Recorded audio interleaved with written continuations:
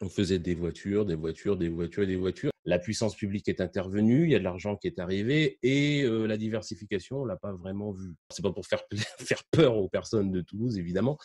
On continue à faire comme avant et on pousse la logique donc de, euh, euh, de, de quelque part, je vais l'appeler comme ça, de surproduction, jusqu'à ce que ça casse. hein.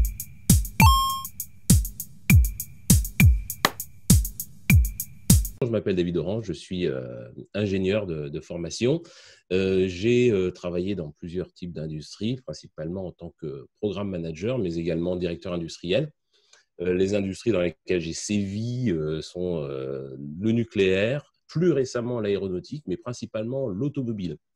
Donc j'ai commencé approximativement à travailler en 2000 euh, pour des équipementiers français tels que Aquel ou Valeo, qui m'ont rapidement envoyé aux États-Unis à Détroit, où j'ai passé de deux, et trois ans, juste avant la crise euh, de 2007.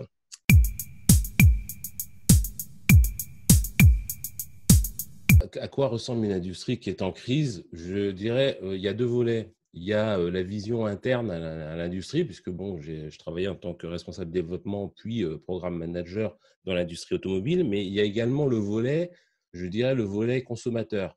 En interne, il y avait beaucoup d'incitations, si vous voulez, à, ça va vous paraître étonnant, mais à l'immobilisme. Autrement dit, à continuer comme on a toujours fait, euh, euh, à faire du volume, du volume, du volume et à tirer les prix vers le bas. Tirer les prix vers le bas, vous avez 36 solutions pour tirer les prix vers le bas.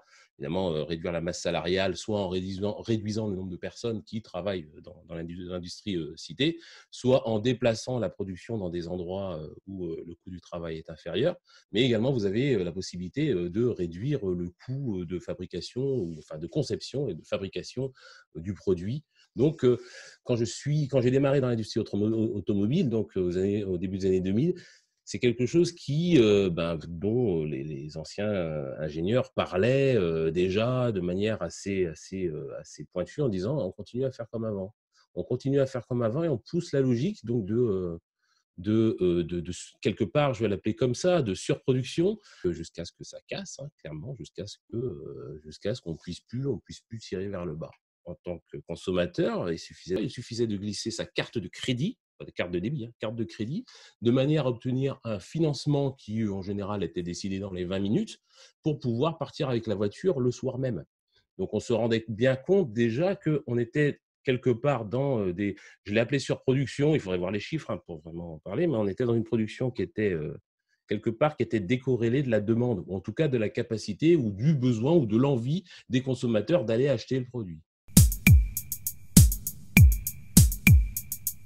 La crise industrielle en tant que telle, elle est euh, latente depuis les années 80, hein, fin des années 80, euh, 90, et on a connu évidemment la fameuse crise, euh, plus qu'industrielle, puisque c'est une crise financière de 2007-2008.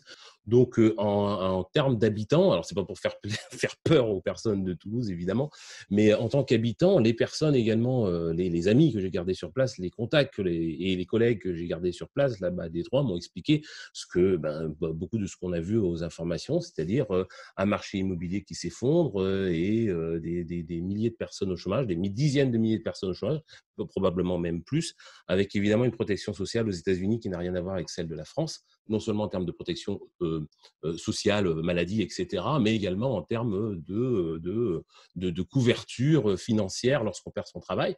Donc, euh, des une ville qui est livrée, euh, certes, ben, tout simplement à, à, la, à, la, criminalité, à la précarité, des quartiers qui étaient complètement à l'abandon, en l'occurrence le centre-ville, et que cette précarité, ben, c'est, c'est, a explosé, en particulier à partir de 2007.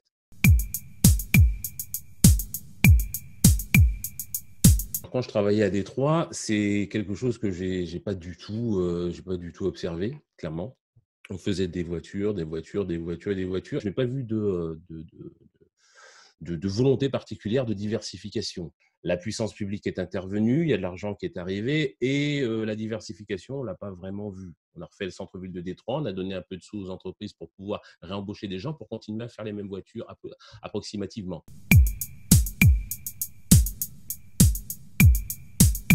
Euh, oui, je vois des parallèles, je vois des parallèles clairs, je vois également des parallèles où j'entends des parallèles et je ne peux que, confirmer de ce que j'en sais, du moins, entre euh, le modèle euh, industriel qu'on peut voir du, de l'agglomération de Toulouse et ce, qui est, ce, qui ce qui est, ou ce qui était, mais ce qui est également connu à Détroit. C'est quand même sur un modèle où vous avez une ville entière.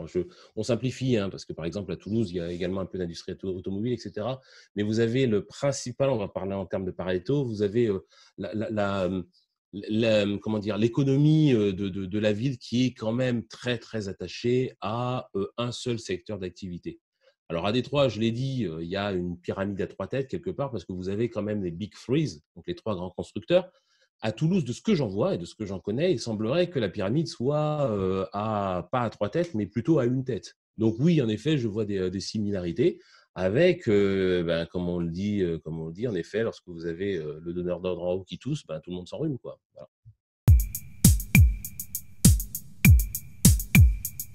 Dans tous les cas, qu'est-ce que vous avez comme solution? Vous n'en avez pas 36, me semble-t-il. Soit d'un côté, on rentre dans la diversification. Donc la diversification, ça c'est une proposition différente, hein, proposition différente de ce que vous avez aujourd'hui. Vous faites un seul type de produit, vous décidez de vous diversifier. Après, il y a des questions qui se posent. On se dit oui, d'accord, on va se diversifier dans cet endroit, mais on a, euh, une masse, enfin une masse de, de, de personnes, une masse, très joli comme terme, mais on a des personnes qui ont euh, des certaines des compétences. Et est-ce que ces compétences sont directement transférables euh, à, euh, à ce nouveau secteur d'activité? Est-ce qu'on a également la légitimité pour pouvoir aller vendre les produits, que ce soit des produits réels ou des produits tertiaires? Et est-ce qu'il y a un marché? Est-ce qu'il y a un marché également, sachant qu'on est un nouvel entrant? Il y a cette possibilité aussi, c'est d'augmenter ou de modifier la demande. On peut, par exemple, aller chercher des marchés ailleurs on pu dire, tiens, on va vendre des voitures à des personnes qui aujourd'hui n'achètent pas de voitures. Je ne suis pas persuadé que qu'aller chercher des marchés ailleurs ou soit, soit si facile ou soit si évident. Vous avez aussi la possibilité de mettre au rebut les produits existants de manière non artificielle. Autrement dit, on utilise un terme hein, qui n'est pas très bien maîtrisé d'ailleurs dans les médias, c'est l'obsolescence programmée. C'est-à-dire que typiquement, vous dites, à partir de maintenant, on ne fait plus, on fabriquera plus les avions qui vont durer 30 ans avec un plan de maintenance ad hoc, etc. Mais dorénavant, ils dureront plus que 7 ans et demi. Est-ce qu'on peut dire à des compagnies, et là, en l'occurrence, il ne s'agit pas de, de, consommateurs privés, il s'agit de compagnies, est-ce qu'on peut leur dire à ces compagnies, dorénavant, vous vend un produit qui est un outil, hein, quelque part, un outil pour gagner de l'argent, vous vend un produit qui va durer moins longtemps qu'avant, quasiment au même prix. Ça se discute. Voilà. Et après, vous avez aussi la, euh, la, possibilité, euh, ben, la possibilité, j'aurais tendance à dire, on va faire en revanche des choses qui sont beaucoup plus robustes, beaucoup plus costauds. En revanche, ça signifiera, ça signifiera qu'il faut beaucoup plus d'études, beaucoup plus avec des matériaux plus poussés, avec, euh, avec du matériel plus complexe pour pouvoir proposer ce produit. Donc ça signifiera que pendant X années, on va en effet employer des personnes sans avoir des revenus, puisque c'est le terme, sans avoir d'entrée, pour fabriquer par exemple des avions qui vont tenir, tenir 50 ans. Mais je parle d'un produit différent, ça peut être un, produit plus durable. Ça peut être également un produit qui prend plus en compte certains paramètres, tels que le recyclage, l'écologie. On peut dire, tiens, dorénavant, on va travailler sur des avions. Vous voyez, là, on est euh, toujours en mode mono, euh, mono-industrie. Donc, il y avait une autre solution, enfin, solution, il y avait une autre, un autre choix euh, qui est, et qui a été choisi à Détroit et qui a été choisi, enfin, qui a été mis en œuvre en France également et en Europe, c'est la mise au rebut des produits existants. On peut faire une mise au rebut des produits existants, on peut la faire de manière artificielle. On peut dire, par exemple, les voitures que vous avez, cher monsieur, aujourd'hui, ben, c'est pas bien, elles polluent, etc. Et on fait évoluer la législation dans ces cas C'est-à-dire qu'en fait, vous avez une autorité supérieure, la puissance publique, qui, avec un levier, qui fait, avec ce levier, on interdit d'utiliser le produit que vous utilisiez avant. C'est plus ou moins ce qui a été fait, vous le savez, dans, l'automobile.